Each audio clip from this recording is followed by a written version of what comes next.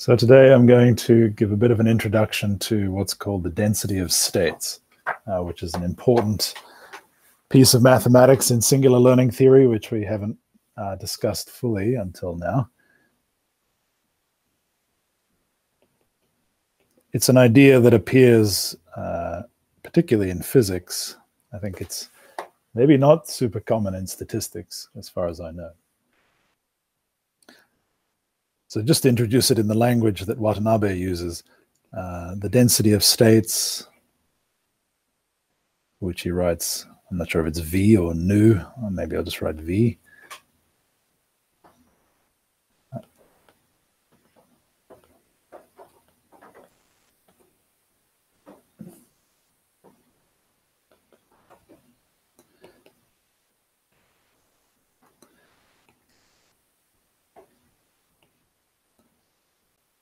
So I'll explain what it means. It's perhaps the easiest way to understand the meaning of the RLCT, which we've discussed.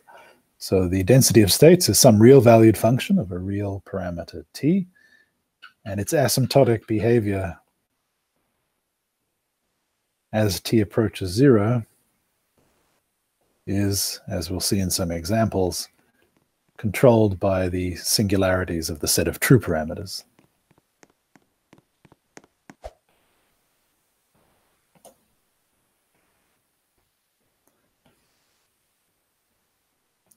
So the density of states is a function associated to a triple, PQ phi, and it uh, has both a straightforward interpretation and uh, illustrates the effect of the RLCT. So that's why it's um,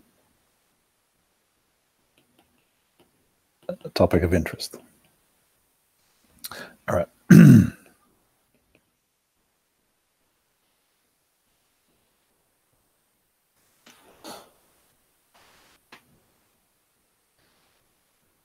So in solid state physics, so if you do a course on solid state physics or condensed matter physics, you'll encounter the density of states very early.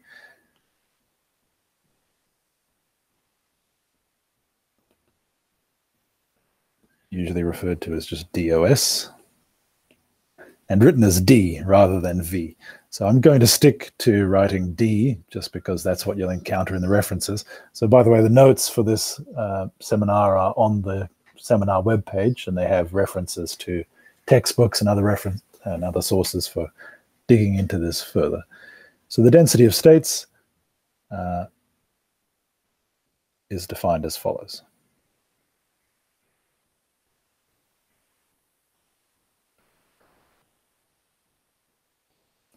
For a system with n discrete configurations, I'll worry about the continuous case in a moment. And a good example would be a, a particle in a box in quantum mechanics.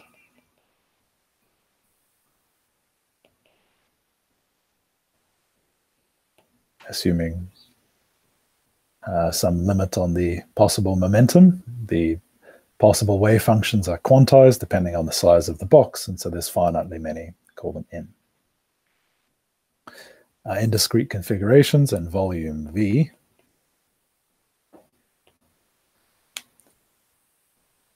the density of states is dE, E is an energy, so it's per unit volume, how many of the possible states have that energy.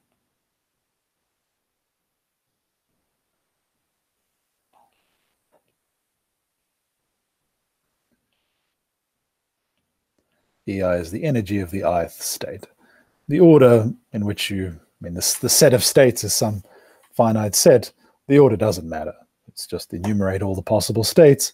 Each one has an energy, and then this is the Kronecker delta. So this is 1 if E is equal to EI and 0 otherwise. Right, so this just counts the number of states with the given energy E per unit volt. So for a continuous system, we of course have to do something a little bit different.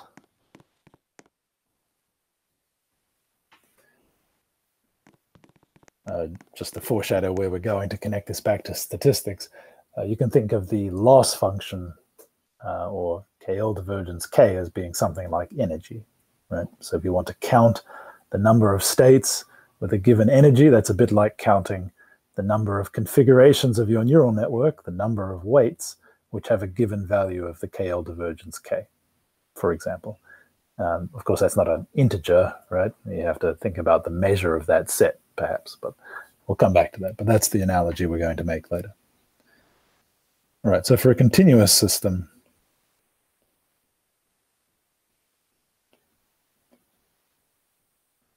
Instead, you define the density of states at energy E to be 1 over the volume, the number of states which have energy less than or equal to E plus delta E. So I will define N in a moment.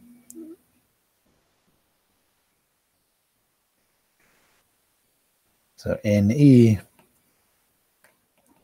is the number or the measure of the set of states with energy less than or equal to E.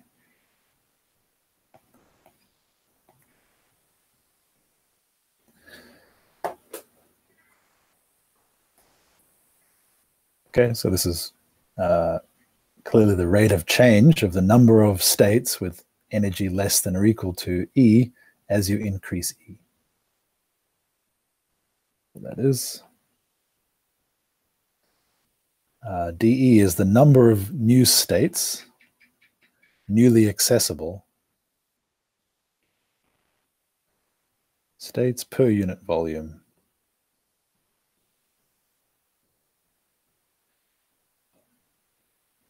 uh,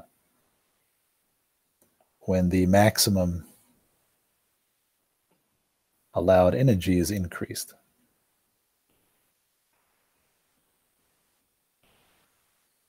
So a typical example in a solid state physics textbook would be something like a conductor.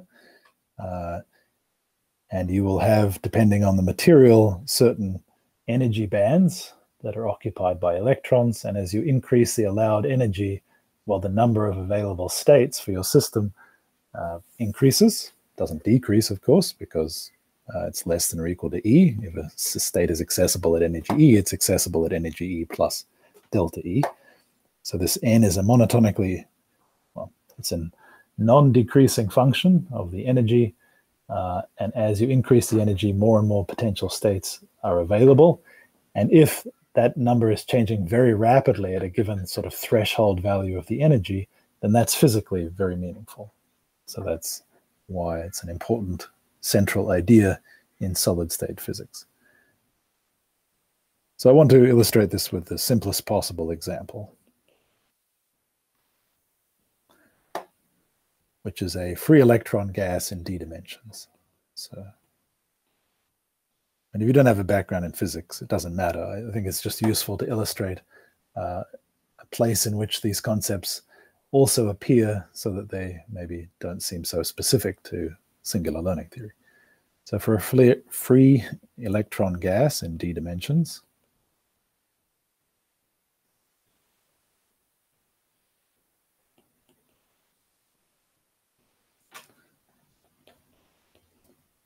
states are parameterized by wave vectors, which just give the frequency of the wave function in all the d directions.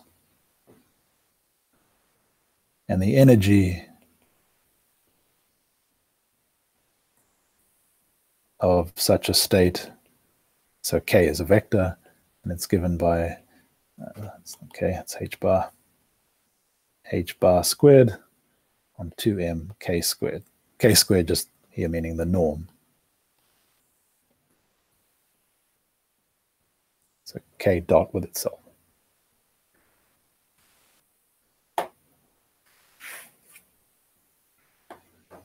So the total number of states of energy less than or equal to E,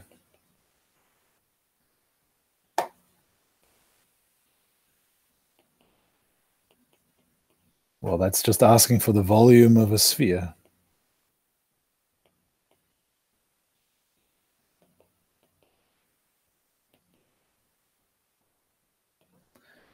I mean, there's this there's this factor here, right? So it's not you have to adjust the radius accordingly, but who cares? It's just a constant factor in front. Um, so it's of a d sphere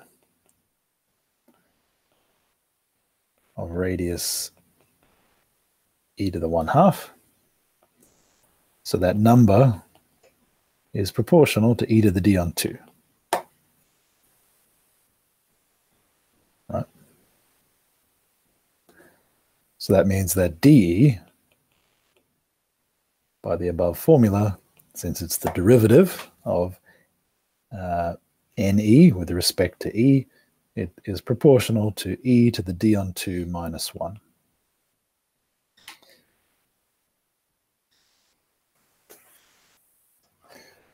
And you might recognize that. So this is going to be the density of states for a regular model. Right? So if you think about the possible states of a neural network, well, not a neural network because that's singular, but if you have a regular model, like um, just a a simple Gaussian parameterized by its, uh, say, mean, uh, then the density of states of that looks like um, exactly this example where d is the number of parameters.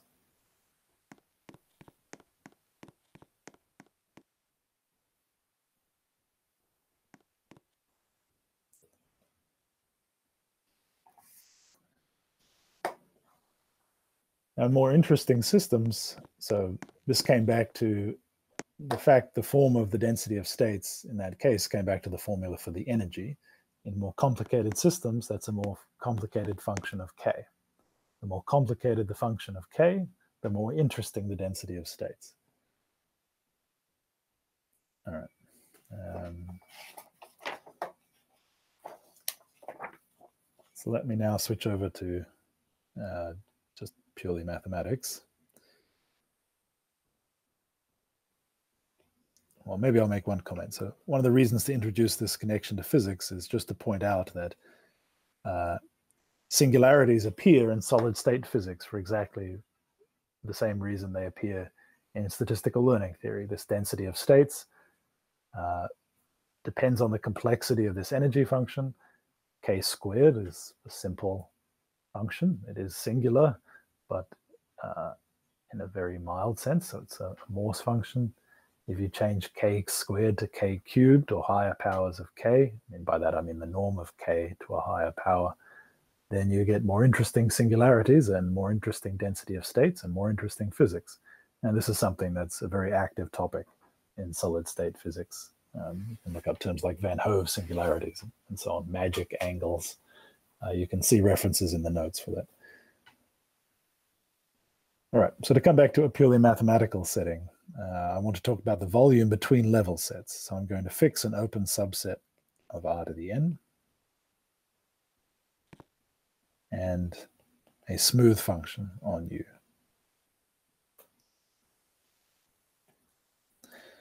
So in physics, P would be the energy E. And in statistical learning theory, this would be K.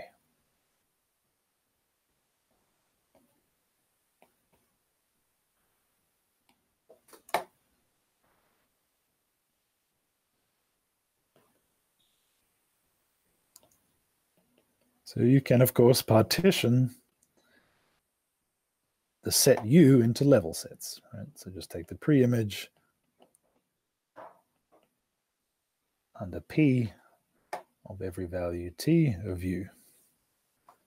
Um, so maybe it's worth drawing a, a picture just to kind of make the point that not all level sets are the same.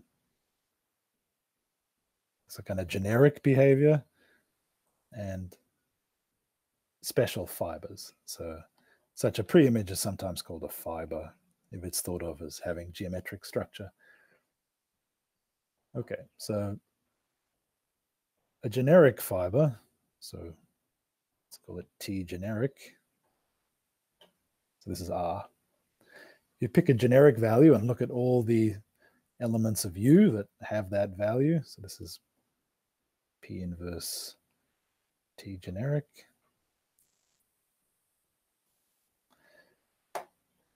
It looks like that picture. That picture is meant to communicate that this thing here uh, is a submanifold. That is, it looks like R, right, in my picture. And it looks like R sitting inside R2. And in my picture, this plane in which this fiber sits is, is U, right? But there will be special values where the pre-image doesn't look like that. So maybe P inverse T0 has a point here, which, uh, so the fiber is not a submanifold here.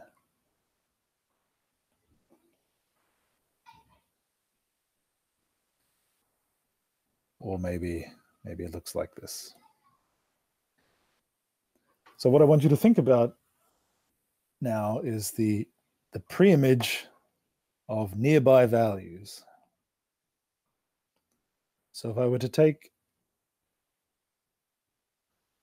a value down here, let's call it T0 prime, I guess, and to take its preimage.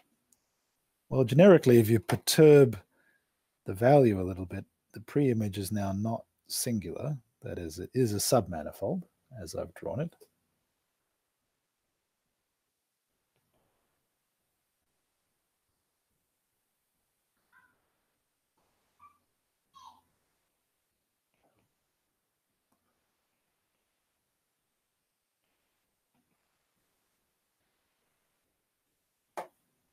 So it's sort of like this case, uh, except as you make these values closer and closer, it, it becomes, uh, in some sense, I mean, it's always a submanifold, but uh, its properties start to reflect the singularity, this point that I've indicated, where the fiber is not a submanifold.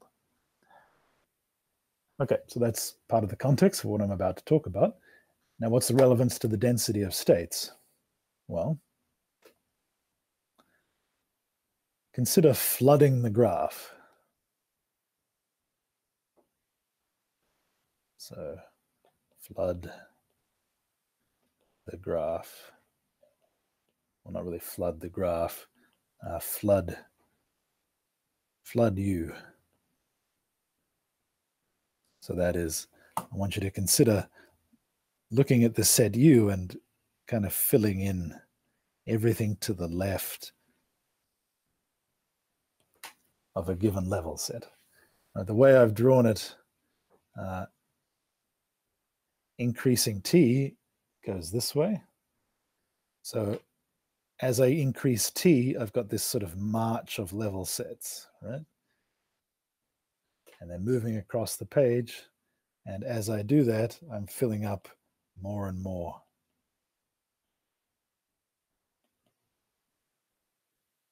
And how much new volume do I acquire uh, at each step? Right? So this is a small change in the value, induces a change in the level sets, and this is the intermediate volume.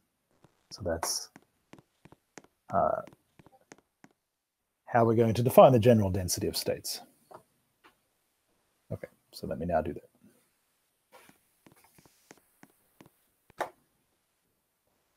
Uh, I guess well, I sort of need to talk about regular values and critical values first. Okay, so now we want to give a formal definition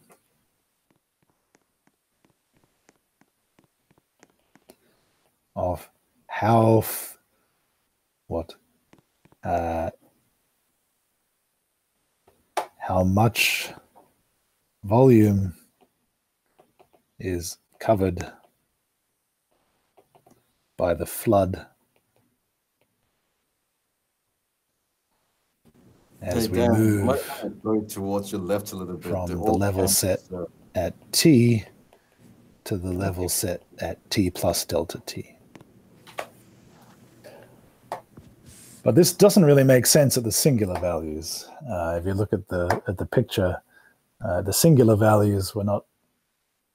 Um, I guess it's hard to explain why it doesn't make sense before I've said what I'm about to say. So maybe I'll skip that comment. So just accept for the moment that there's a complication here when we try and make a formal definition, which is that it won't really work at those fibers which are singular. All right. Um, okay, so some observations to clarify what I've said on the previous board informally. So for generic T, the pre-image is a submanifold of dimension n minus 1. Um, don't remember if I gave a value to the dimension. I said U is an open subset of Rn, right? Yeah. Okay, so more precisely, uh, if the gradient of P is non-zero, non-zero vector at every point x in U with px equal t, that is in the preimage,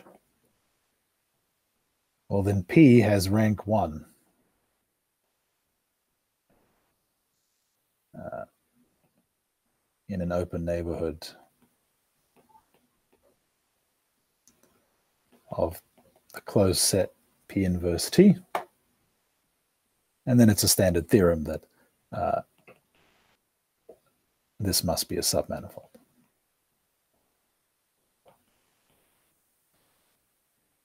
I, am not really justifying why this is true for a generic T, right? So the statement I've just made is that if this is non-zero, then it's a submanifold. So uh, why, why do I know this is the generic behavior? Well, that's by Sard's theorem. So by Sard's theorem,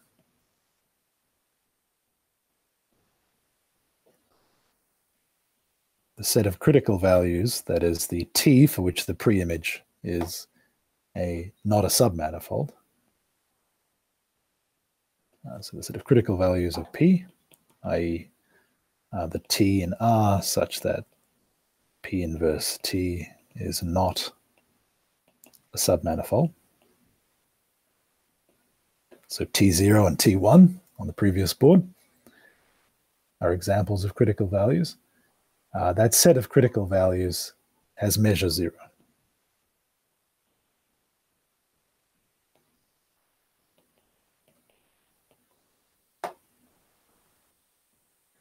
Okay, so that's what I mean by generic.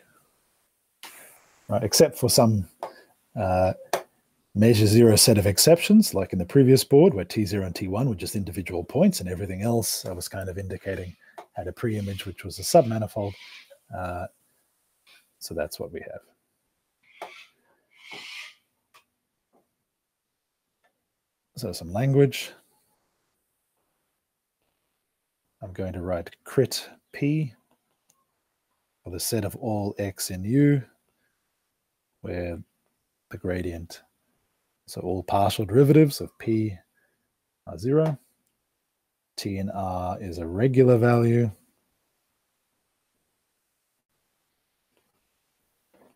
If it is uh, well, one way of saying it is the pre-image doesn't meet the set of critical points, i.e. it is not a critical value.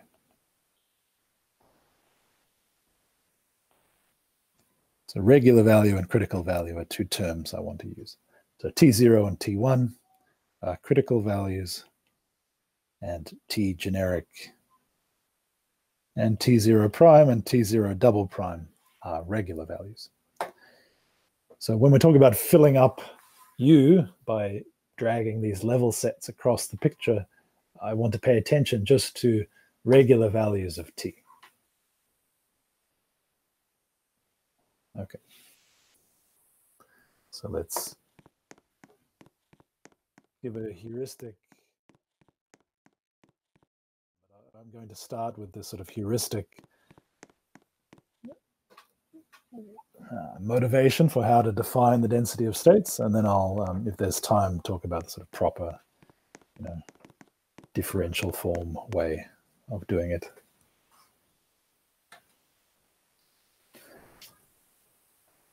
So, defining the density of states. So U and P as above. Let T and R be a regular value.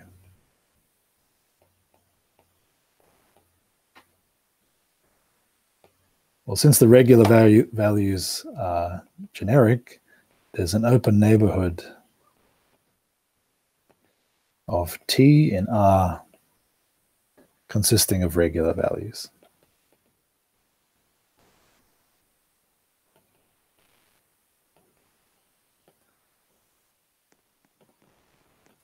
let's let h be sufficiently small that all these level sets, I'll call them SH, which means I take the nearby level set at t plus with value t plus h. Let's assume that they're all submanifolds, which I can do by the previous sentence.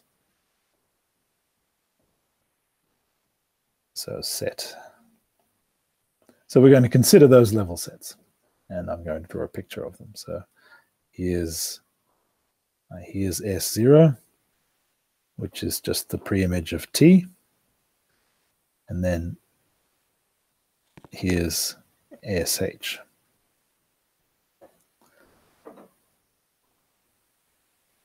Okay, so on the preimage, so on S0, by hypothesis, T is a regular value, so the gradient of P is non-zero everywhere, and I'm going to draw those in as green lines. So um,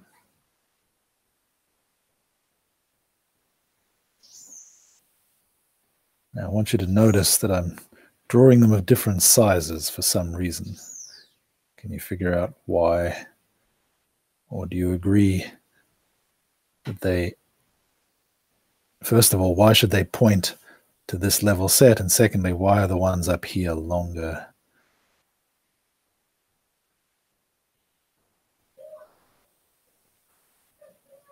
So these are all Nabla.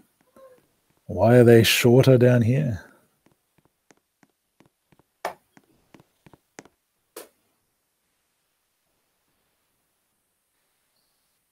Anybody?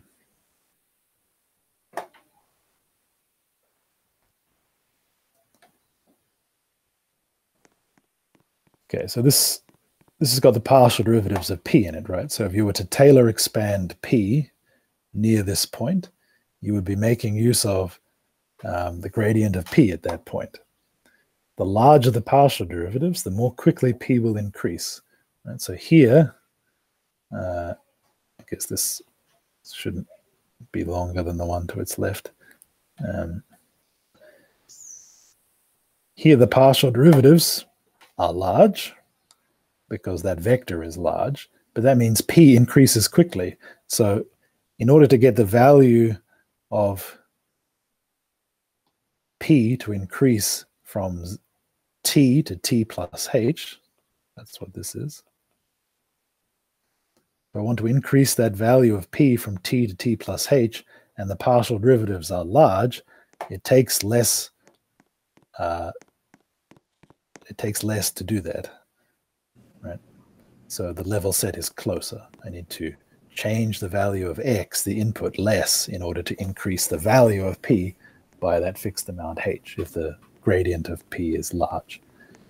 Okay, so that's why down here you see that it's far away because the gradient is small. It takes a long time to increase to that level set. Okay, um, so let's do, uh, so the Taylor series expansion looks like the following. If I start at a point x, so this is my x, and I travel along the gradient at x. That's approximately p at x plus sum over i h Right, I get one of these partial derivatives just because it's already in there, the second one from the Taylor series expansion. So that's px plus h nabla p squared. So what I'm trying to figure out is, is how to measure the, the volume in between these two level sets, right? So to get a volume, I need to add up squares. And to get squares, I'm going to sort of pick out something like that and worry about its volume. So that's what I'm doing right now. But I want to work out what this distance here is. Okay. So how am I going to work out that distance? Well, I can solve an equation involving this, right? I know that I get to here when the value of p increases to t plus h. Okay, so if we assume x is in S0, and then set t plus h equal to the above, and solve for solve for um, uh, well, not quite h, right? Because this is not a unit vector. Maybe maybe I'll write this slightly differently. Um, so uh, let me write that as the magnitude of the gradient at x times a unit vector in the direction of the gradient at x. So this here is is this distance, right? So this, this distance d is is that quantity, and h is what we get to change there. Okay, so if we solve for t plus h, we get t plus h uh, is equal to, well, that's t already, right? So it's t plus h nabla p squared. That's nabla p at x, right? Uh, that gives us h equals h nabla p squared. Uh, what did I do wrong here? Um, no, I shouldn't have called this h, right? Uh, it's a bad choice of letter. Um, maybe I should just call it. Yeah, let me rewrite this equation and um, yeah, it's not it's not h. I don't know what letter to call it now, but.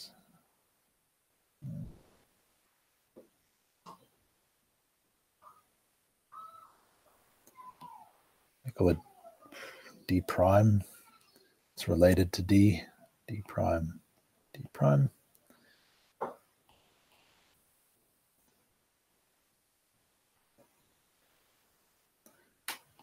d prime. All right, so we get d prime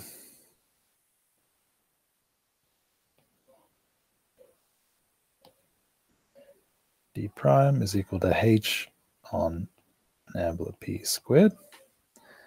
But the actual distance d is equal to d prime times nabla p. So that means that the actual distance is h on nabla p. That's what I was getting at. All right, so that's that's this distance here. So if we want to work out the volume in between these level sets, we just have to take this distance multiply it by a line element here, use that to get a rectangle, and then sum over multiple such rectangles.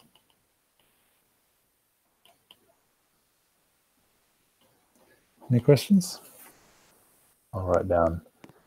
So basically, we're going to integrate h over nabla p along S0, and that's the definition of the density of states.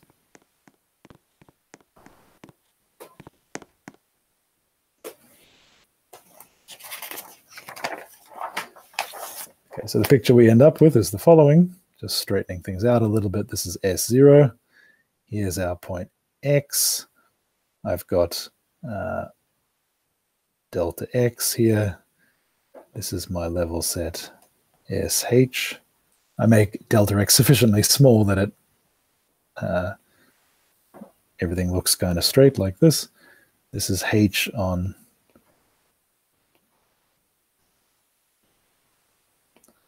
on this. And that's the area element.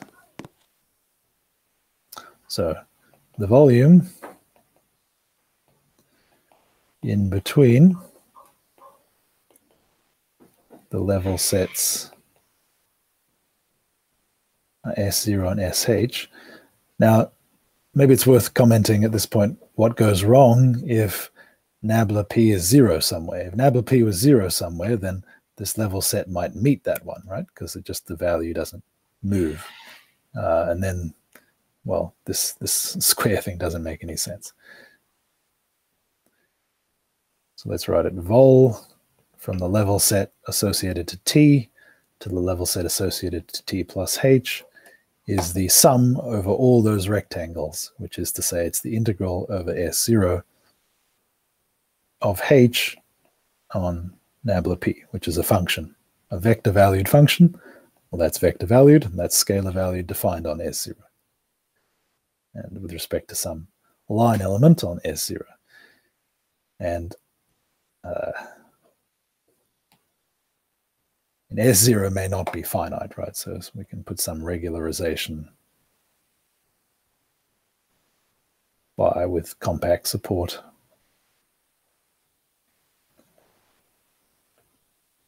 to make that actually finite. You can, of course, phi, which means that what I've just defined is a distribution rather than a number, right? It's a, a gadget that takes in a finitely supported kind of test function, compactly supported test function, and gives you a number. Okay, but I hope that's pretty clear. So that's how we get this volume between level sets that I was drawing before. Okay, so it's coming back to the density of states. Uh, it is reasonable to identify. So now think about P as being the energy. And dragging this level set to the right is increasing the available energy, and you get more states, and the states are the points in U. And if you count how many states have become newly accessible, well, that's exactly this volume in between these level sets.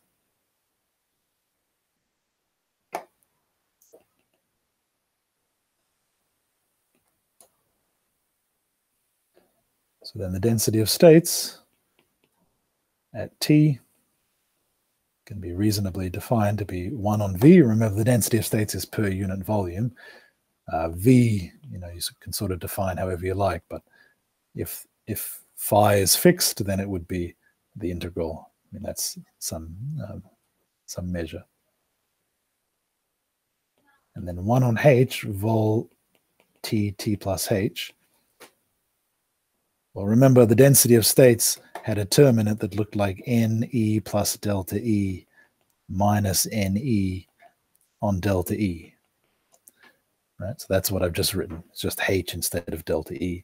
And that volume is exactly that difference between the number of accessible states, except now I'm integrating to count states rather than um, using phi, rather than just talking about a number. And then from the definition, as we've written it, that is, uh, that cancels, this h here cancels that h there. So we end up with the final definition of the density of states, which is 1 on some kind of volume. Doesn't matter too much what that is. The integral over the level set. So S0 is the preimage of T of phi divided by nabla P along S0. Okay, so that's our definition of the density of states.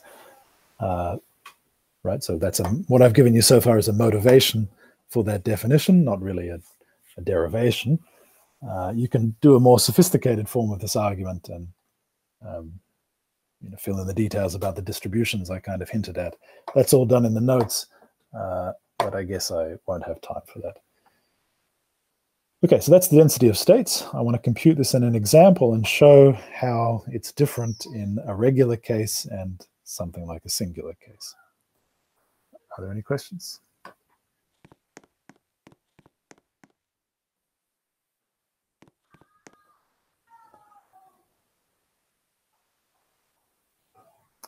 Okay, uh, maybe I'm going to keep that diagram because it's nice.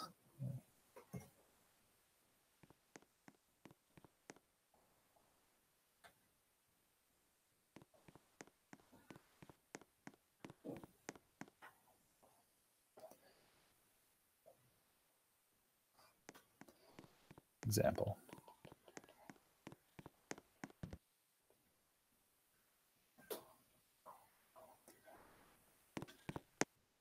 Well, the simplest example is just to take a sum of squares.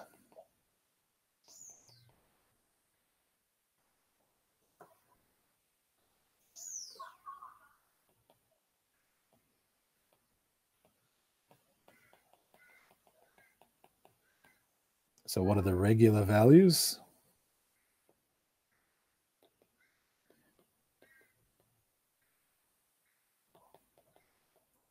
Well, if I'm looking at the pre-image of P, I'm looking at a sphere of a certain radius, right? The sphere is a submanifold of Rn. I mean, I'm talking about the n minus one sphere. That's a submanifold of Rn, unless I look at for the sphere of radius zero.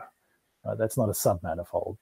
Well, it's not a submanifold of dimension one less, right? So that's that's the only um, singular value. It's the only place where the gradient is the zero vector. For t not equal to zero, the level set S0 is a sphere of radius t to the 1 half. And if I compute the integral in the density of states, so the integral over S0, that's the sphere of 1 over the gradient of this function on the sphere, uh, you can do a little calculation and see that that's proportional to t to the n on 2 minus 1, which is what we saw before, right? That was exactly the calculation. Of, uh, I didn't really do the calculation. I just stated that in the example of a free electron gas, you would end up with a density of states, which was e to the d on 2 minus 1 d is now n, but that's the same calculation. So that example, in the physical sense, um, well, in the statistical sense, that's a, a, sort of, I don't know, geometric sense, that's a regular example, right? Because this function is a sum of squares. So you see something to do with the volume of a sphere and its derivative, which is which is this. Okay. Um,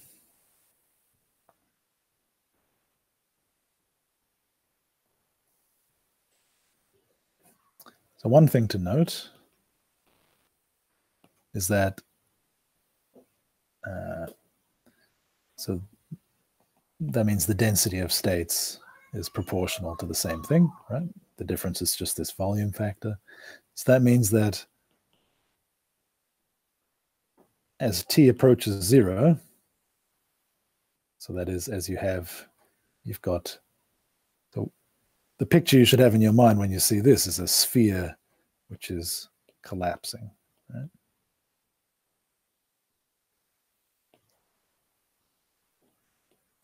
Because t is the um, square of the radius. And as the sphere collapses, and I'm doing this integral over the sphere, well, two things are happening, right?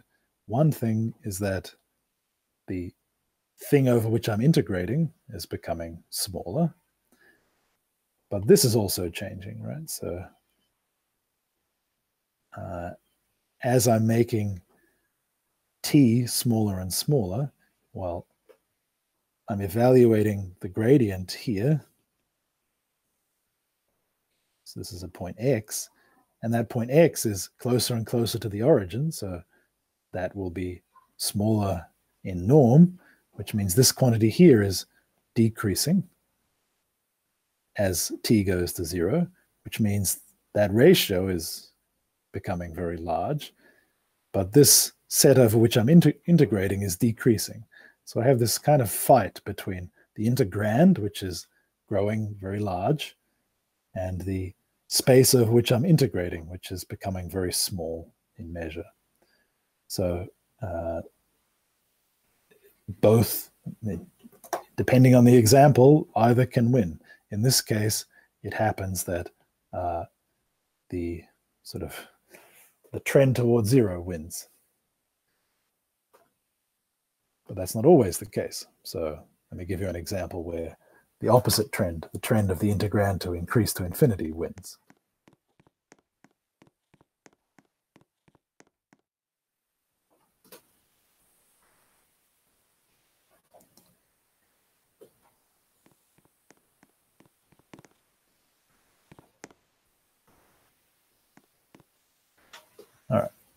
And I guess that's what I'll finish on. So let P be x squared minus y squared.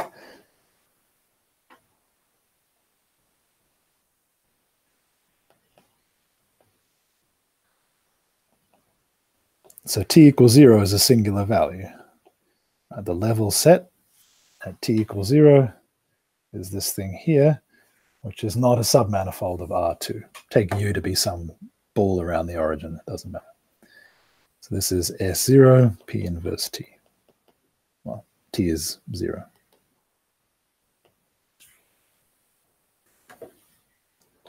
So for small h,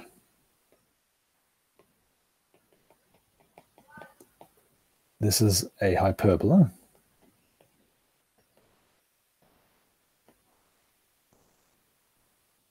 So it looks like looks like this.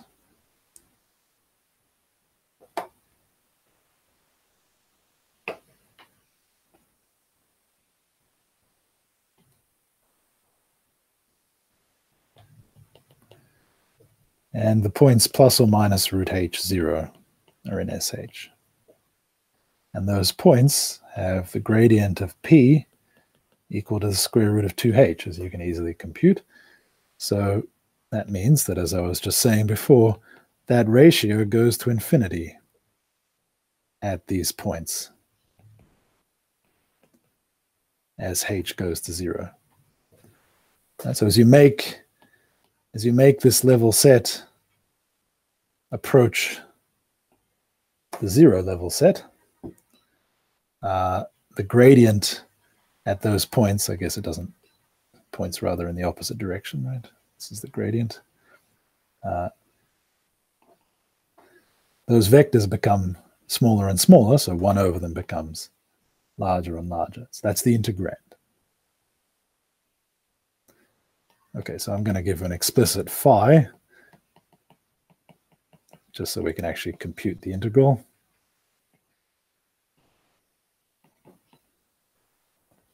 I guess that doesn't have compact support. Uh, well, depends how I choose u. So choose u to be a closed disk at the origin, and then that's fine. Then as h goes to zero, this integral that I'm doing is zero phi on nabla p. Uh, what it looks like is the following integral. Do the calculation.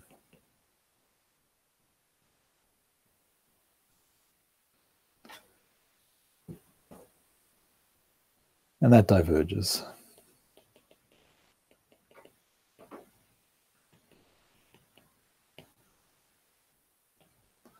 Now what that means is that the density of states, I guess I used T already, I'll use S, the density of states approaches infinity as S approaches zero.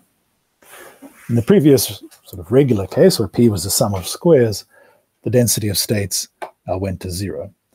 Now, what does that mean? I mean, in terms of the interpretation of the number of accessible states or whatever. Well, the density of states going to zero means that uh, near that level set, as you vary the level set, the volume doesn't change very much. Right?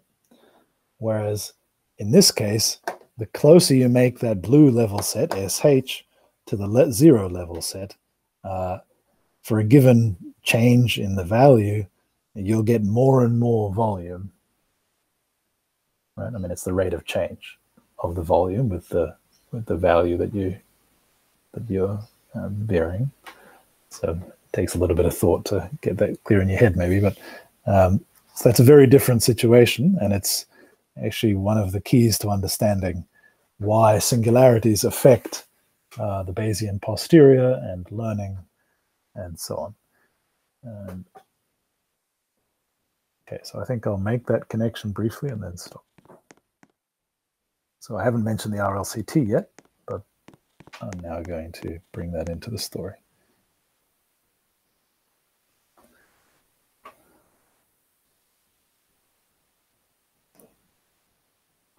Okay, so the divergence ds to infinity in this case uh, means that for sufficiently small h and s, sufficiently small h and s sufficiently close to zero. So this ratio, which is what the density of states is, 1 over h, the volume between these level sets, may be made arbitrarily large.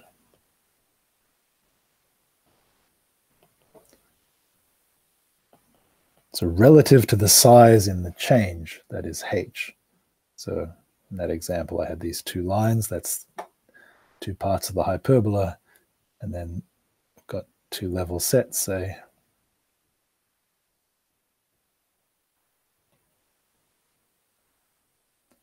This in here is the volume. So that's vol s s plus h.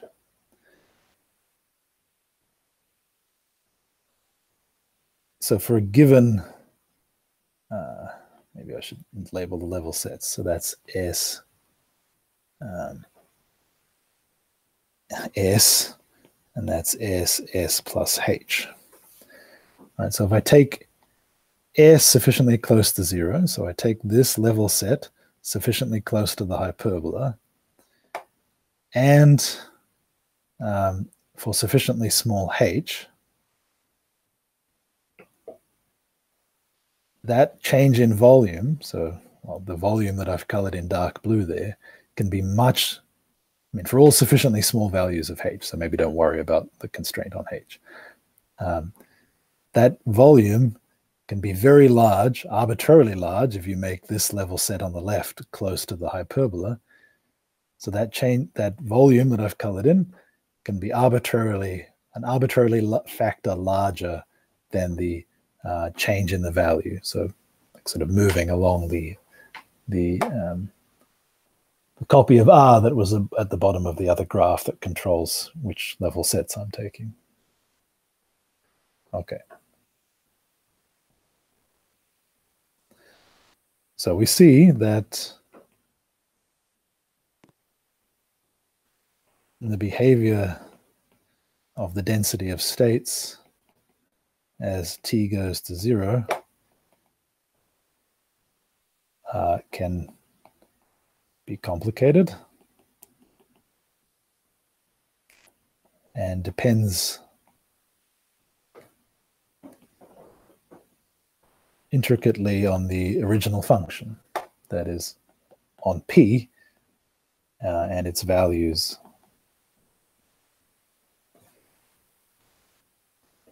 near um,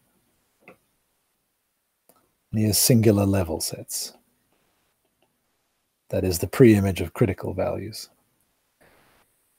It's important here that this this level set, which was the zero level set, was not a submanifold. If it were a submanifold, uh, I would always get the behavior where the density of states goes to zero as as t or s uh, goes to zero. So near a singular level set, the density of states can behave in the way that I've just described for x squared minus y squared. It can behave um, very differently to this case in a sum of squares. And indeed, so one can show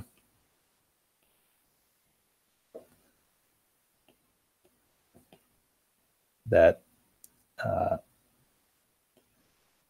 when P is the KL divergence, that's true more generally than this, but uh, when P is the KL divergence of a, a triple in the set setting of singular learning theory, this density of states function is uh, asymptotically a constant times s to the power lambda minus 1. Where a is some constant and lambda is the RLCT.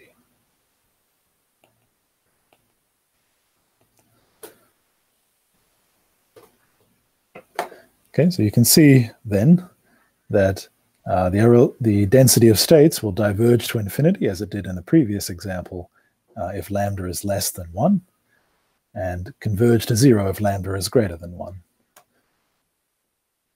Right. Um, but this asymptotic behavior of the density of states um, gives you some hint that lambda behaves like a dimension, right? So recall from my very first example that the density of states in the case where a function is a sum of squares was proportional to uh, t to the n on 2 minus 1.